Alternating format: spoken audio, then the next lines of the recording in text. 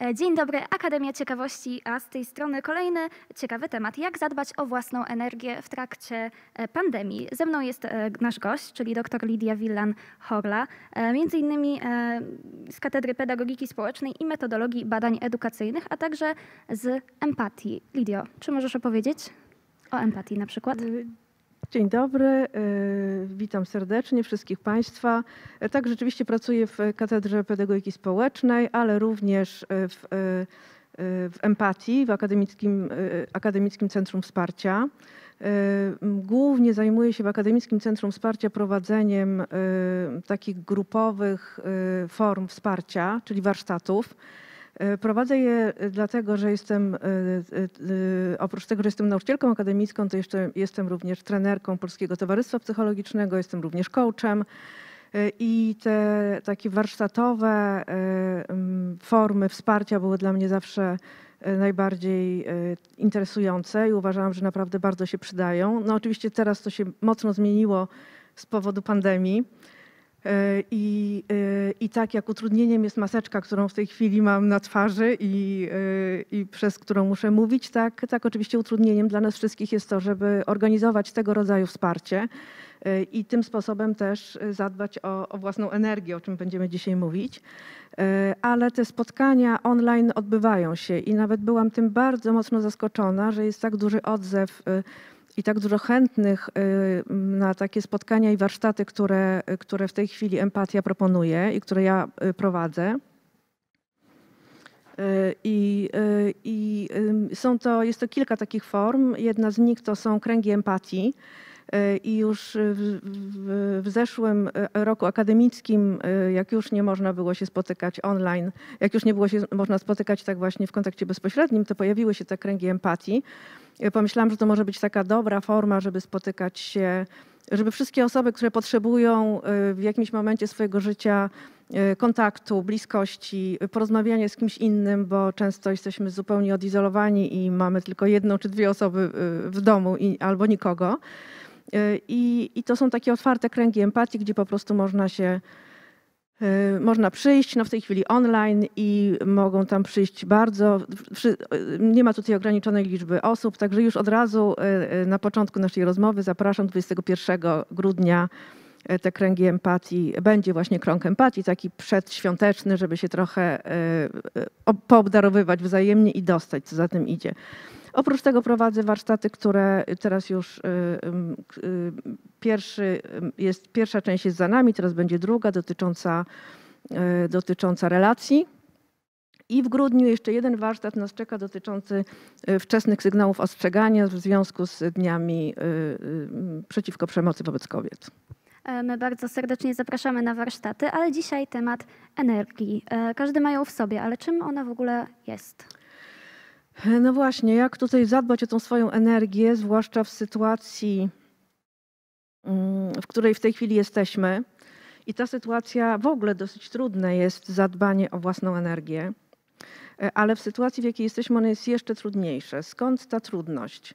E, Możemy, mm, większość z nas straciła taką możliwość czerpania z zewnątrz, czyli nie możemy się różnymi rzeczami pocieszyć, Nie możemy w tym momencie pocieszyć się w taki sposób, że pójdziemy do kina, na koncert, że uatrakcyjnimy sobie y, y, nasze życie, dostaniemy z zewnątrz różne rzeczy i możemy czerpać, zazwyczaj czerpiemy też z zewnątrz, czy od, y, y, z miejsc, y, z, y, z wydarzeń y, i od osób, a teraz zdecydowanie bardziej musimy czerpać y, ze środka, z siebie. Musimy sami pomyśleć, w jaki sposób, y, mm, w jaki sposób y, żyć, w jaki sposób zadbać y, w odpowiedzialny sposób o jakość naszego życia, żebyśmy rzeczywiście tę energię mieli, żebyśmy się nie zapadli.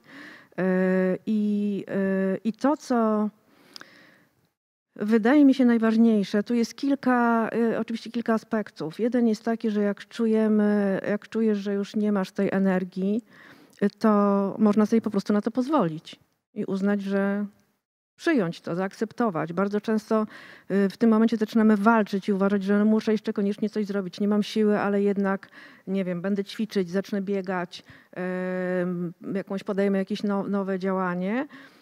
Y, Czasami brak energii y, pokazuje nam, że po prostu wyczerpaliśmy się energetycznie, zwyczajnie i musimy dać sobie na to, dać sobie do tego prawo. A dla wielu osób to jest bardzo trudne. Y, Więc tak naprawdę to y, mm, obejrzeć, przyjrzeć się samemu sobie, naprawdę jest to bardzo skomplikowane mówienie w maseczce, bo mówienie jednak powoduje ruch maseczki.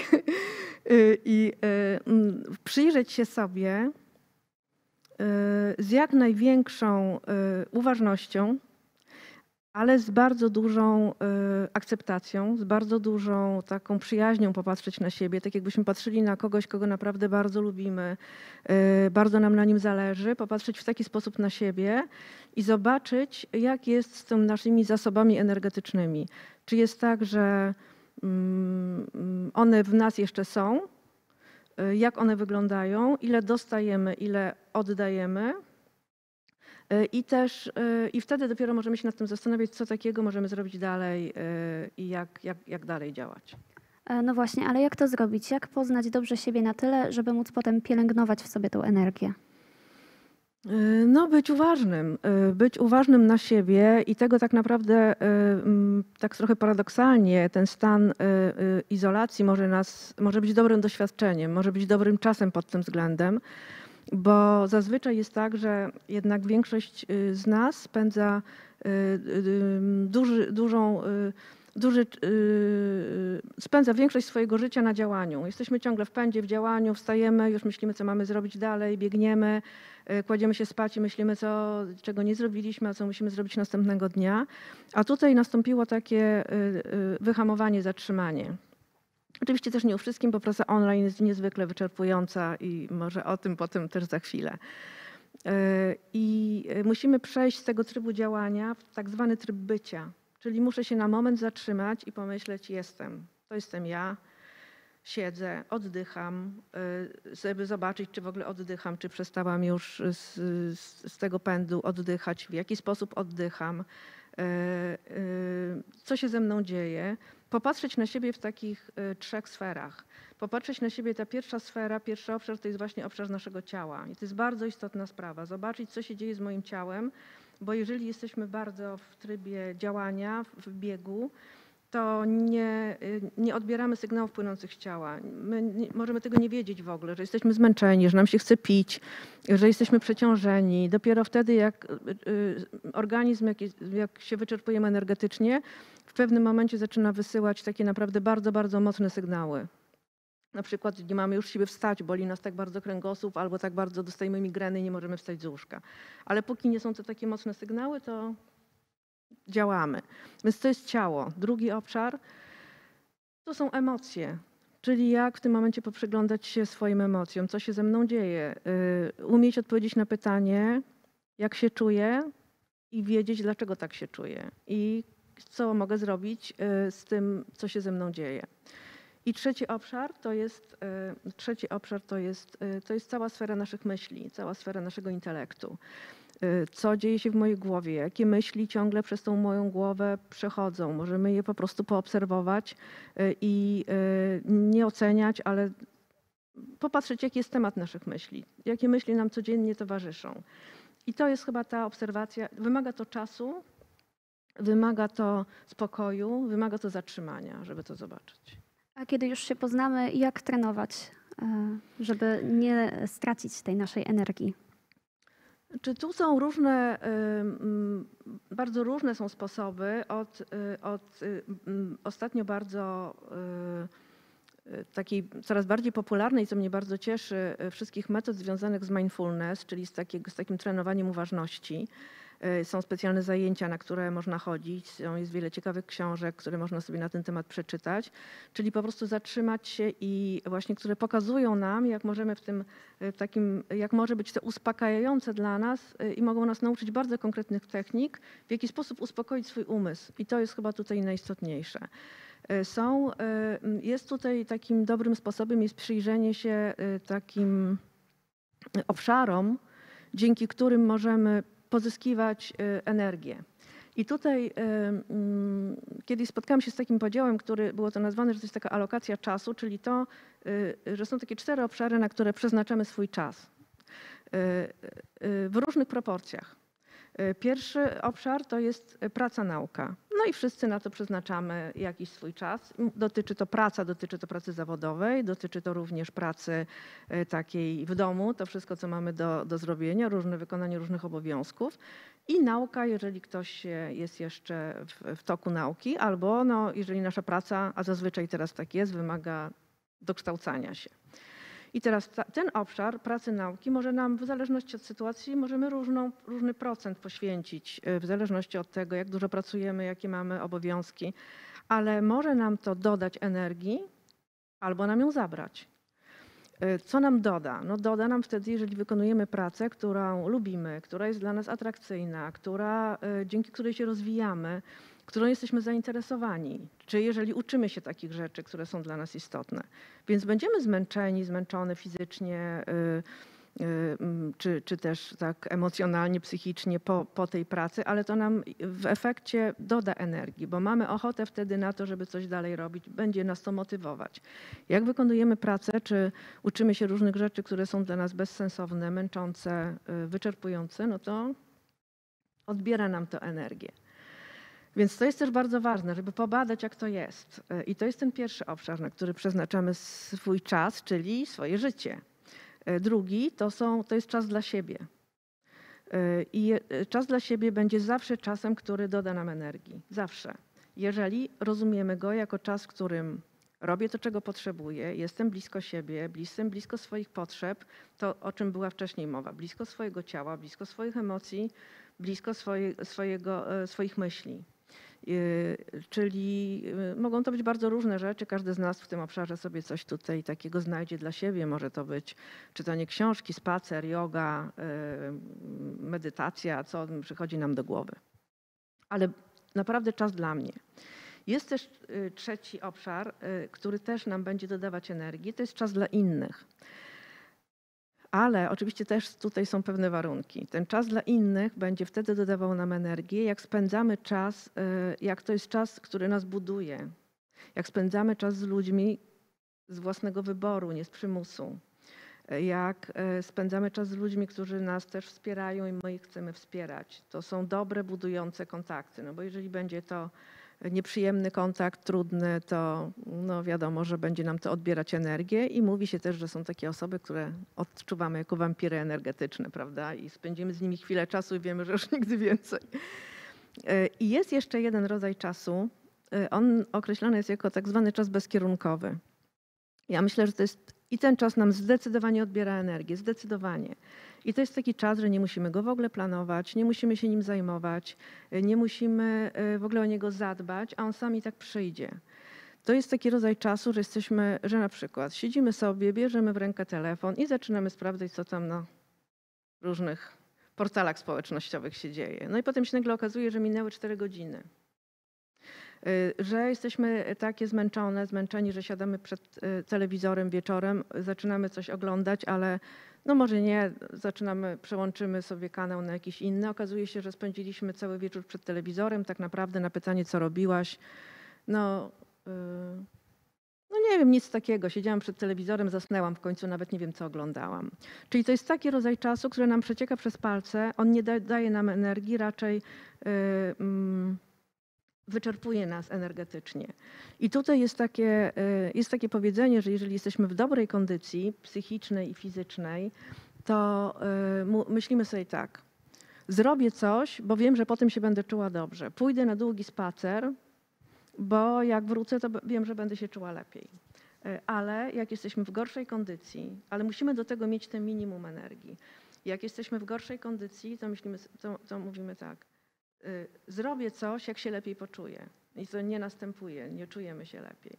Więc myślę, że ten czas bezkierunkowy jest takim dużym niebezpieczeństwem teraz y, tej właśnie sytuacji y, bycia w domu, bo bardzo łatwo jest w tym momencie się po prostu zapaść. Ja to w taki sposób nazywam. To jest taka, że możemy się zapaść, na nic nie mamy już siły, nie, nie, nie chce nam się rano ubrać, no zajęcia online, więc w sumie to mogę nie włączyć kamerki I w tym momencie właśnie okazuje się potem, że jest godzina 18, a my siedzimy w piżamie i czujemy, że po prostu jesteśmy wycieńczeni energetycznie.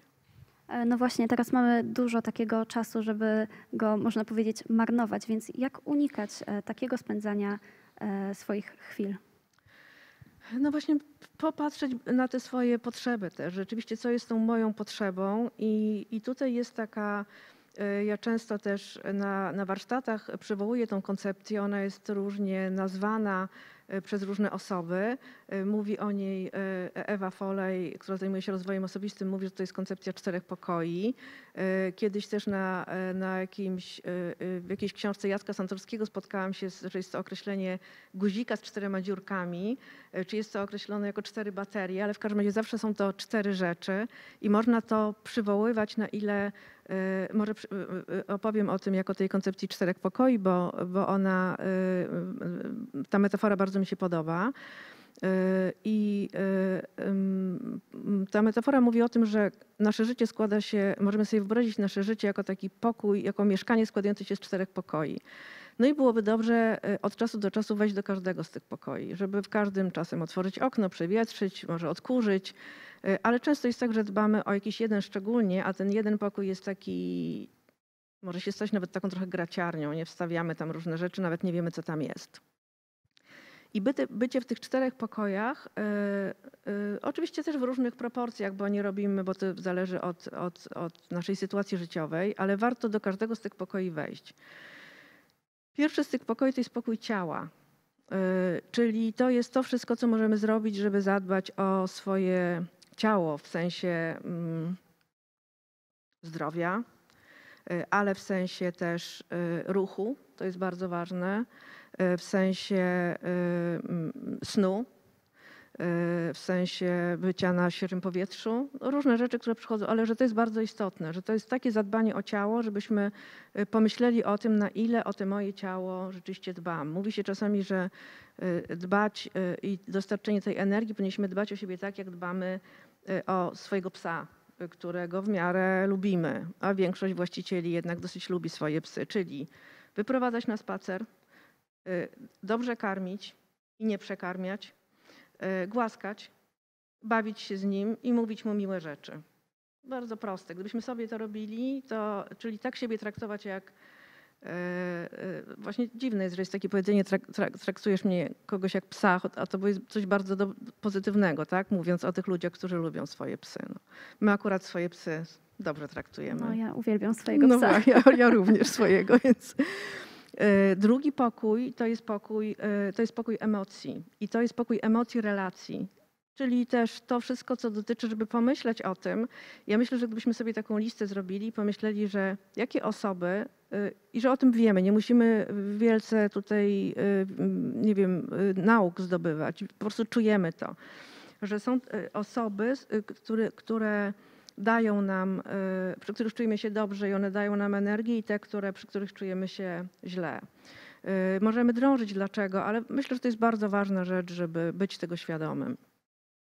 Emocji, relacji, świadomości też swoich emocji, co w ogóle się ze mną dzieje, żeby sobie dać do tego prawo i żeby też wiedzieć, że to już jest na w ogóle na inny temat, ale że wszystkie emocje są mile widziane, wszystkie. Czy jak jesteśmy smutni, to bądźmy chwilę w smutku i dajmy sobie prawo do smutku. Jak jesteśmy w radości, dajmy sobie prawo do radości.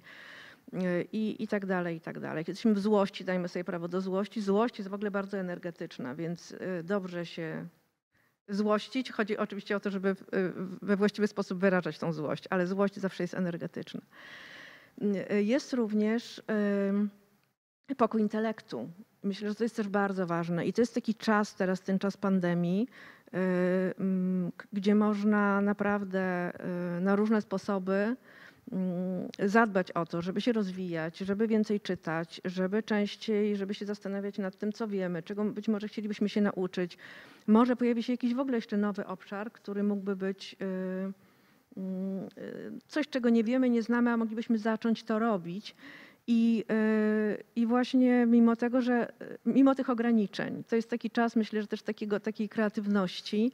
y, I ja na przykład czuję, że czasami to wchodzę naprawdę na wyżyny swojej kreatywności, żeby poprowadzić zajęcia online, tak żeby one nie były, żebym mogła zrobić to, co normalnie bym zrobiła prowadząc e, na przykład jakiś warsztat rozwoju osobistego i że mogę go teraz zrobić właśnie online. Więc wydaje mi się, że to jest naprawdę też taki moment, w którym możemy e, też mm, robić różne rzeczy i doceniać to. No jest jeszcze jeden pokój, ostatni, to jest pokój duchowości. Y, który jest różny, no, dla jednych z nas bardziej y, ważny, dla innych mniej i nie można go tutaj łączyć y, z, z religijnością, bo ktoś może być, oczywiście religia też do tego pokoju duchowości wchodzi, ale jest jednym z elementów. Ale myślę, że to też staje się coraz bardziej ważne dla nas wszystkich i czas pandemii też jest takim momentem, kiedy możemy się zatrzymać i pomyśleć w ogóle o co chodzi z tym wszystkim, z tym życiem, jaka jest moja rola tutaj, co ja mogę dać światu, że jestem, że chcemy zadbać. Też myślimy o tym, że być może to jest moment, w którym w ogóle o, o, o świat y, y, i nie tylko o siebie trzeba zadbać. Więc to są bardzo, bardzo, bardzo różne obszary, które nam mogą w tym y, pomóc.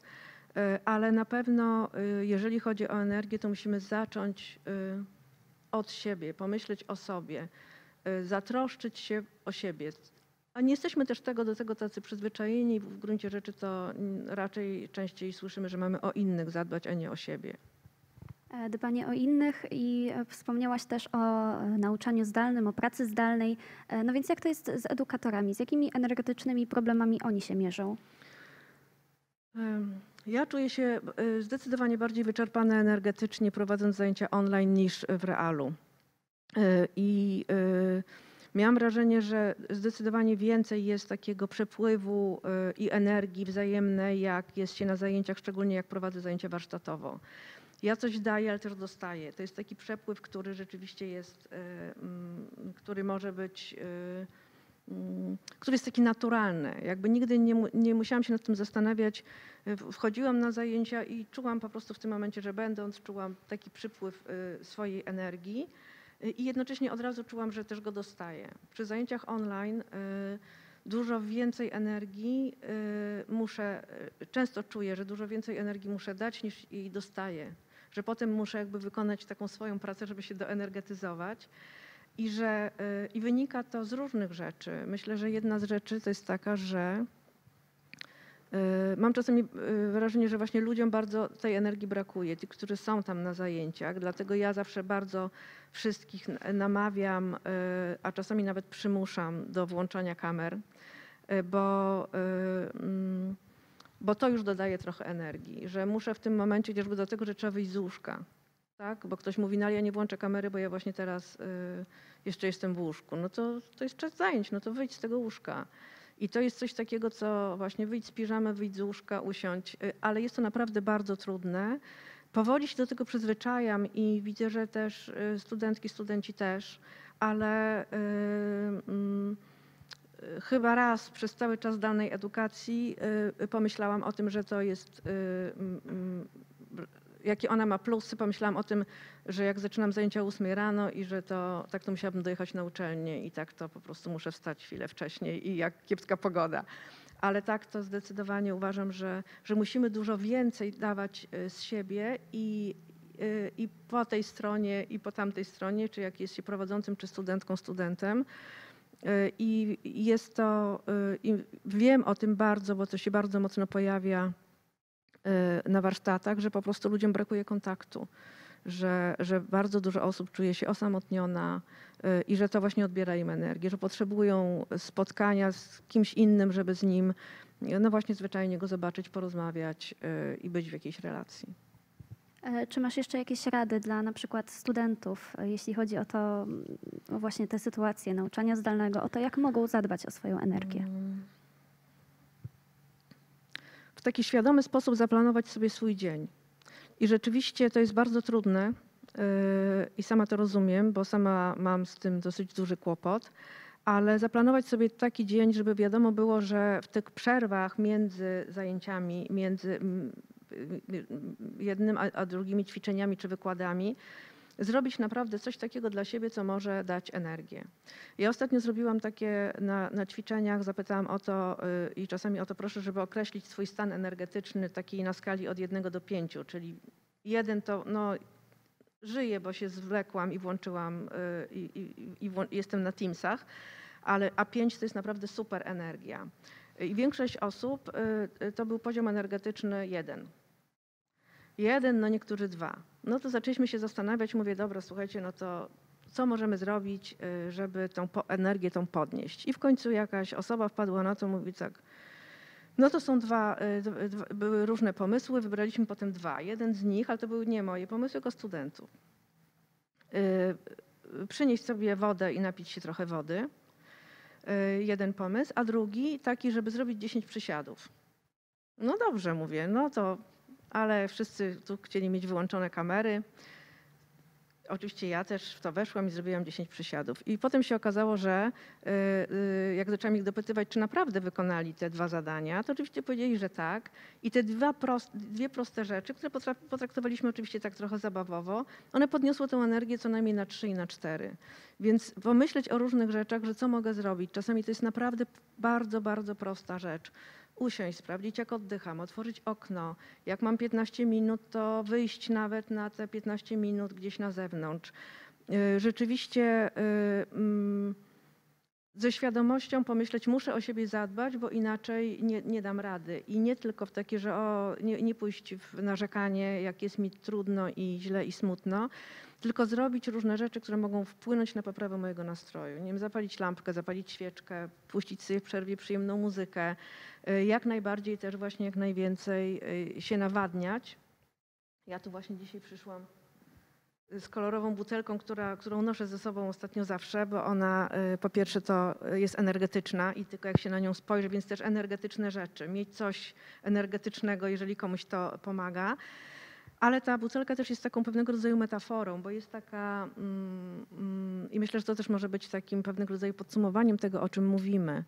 Y, Jest taka zasada filiżanki, ale to możemy sobie ją zmienić na zasadę butelki, która mówi o tym, że